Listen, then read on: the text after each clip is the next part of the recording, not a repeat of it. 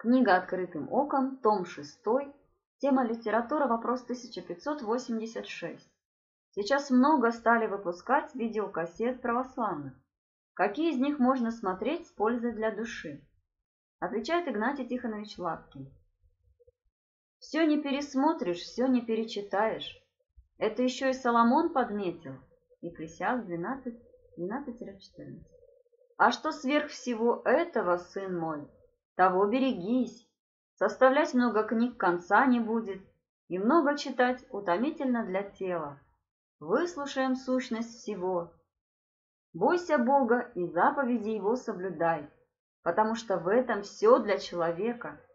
Ибо всякое дело Бог приведет на суд, и все тайное, хорошо ли оно или худо. Понатащил я к себе домой семь видеокассет Юрия Воробьевского и его книжки «Наступать на аспида», «Прикровенная империя» и другие. Общее впечатление, что автор совершенно не знает о Христе, ничего и не держал в руках Библию, а отсюда у него и при его энергии такой запах афонский. Ему все там дорого, все спасительно. Он ни звука не издает о благовестии Христовом абсолютно антиевангельское видение жизни и спасения. Даже отвечать не знаешь как, на чем остановиться. Он спасается на обломках корабля, которые называют мнением отцов, а фон у него излучает святость. Везде у него сны и видения, чудеса. Вот откуда понабрались Юрасовы и Гурьяновы и их последователи. Для них исповедь – ключ Царства Небесное. Вертящиеся и раскачивающиеся лампады – это все знамения о последних временах. Непроглядная тьма суеверий и неприкрытого языческого шатания наяву и в мозгах. Это же и есть чрезмерное преувеличение, приукрашивание желаемого. Все спасение на этих 80 километрах полуострова Афон – и еще в монастырях, где старый стиль. Такой болезненный бред несет, что этого Воробьевского отчитывать нужно за написанное и держать под епитимией до конца его жизни, пока он не выловит из народа все эти видеокассеты и книжонки тухлые свои. 1 Коринфянам 1, 22-25.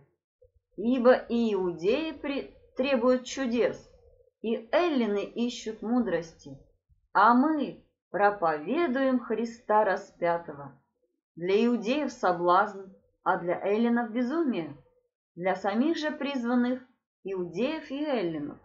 Христа, Божию силу и Божию премудрость.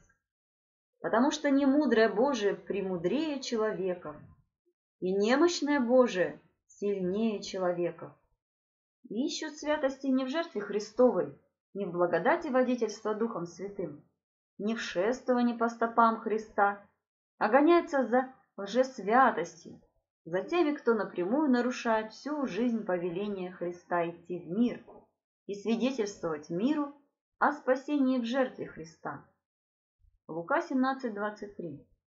И скажут вам, вот здесь или вот там. Не ходите и не гоняйтесь. Марка 16:15. И сказал им, идите по всему миру и проповедуйте Евангелие всей твари. Иоанна 17:15. Не молю, чтобы ты взял их из мира, но чтобы сохранил их от зла. Марка 5:19. Но Иисус не дозволил ему, а сказал, иди домой к своим и расскажи им, что сотворил с тобою Господь и как помиловал тебя. Деяние 8.4. Между тем рассеявшиеся ходили и благовествовали Слово. Православным полезно лучше не смотреть подобную продукцию, нежели научаться неевангельскому пути. О масонстве же он говорит хорошо, есть редкие материалы. И непонятно, сам ли их получил или ему это отцедили эти же самые масоны и дали ареал информации. Сам по себе он выглядит хорошо, с бородой, но зачем же в галстуке-то масонском? и крестное знамение совершает прекрасно.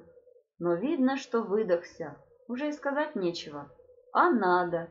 И напротив своих книжных шкафиков и так нелегко против будет идти при Антихристе.